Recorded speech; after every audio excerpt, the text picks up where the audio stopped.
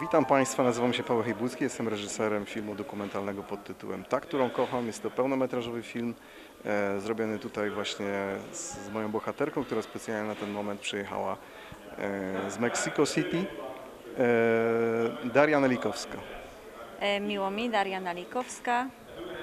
E, Daria mówi płynnie po polsku. E, Nie przejmujcie się, jeżeli kiedyś jakieś e, wpadną jej literówki. Po prostu długo nie była w Polsce. Od 14 roku życia wyjechała najpierw do Holandii, a później do Mexico City, gdzie ma rodzinę.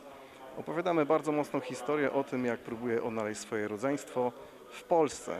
Okazało się, gdy miała 40 lat, że nie jest jedynaczką i próbuje po prostu rozwiązać tę historię jak prawdziwy detektyw.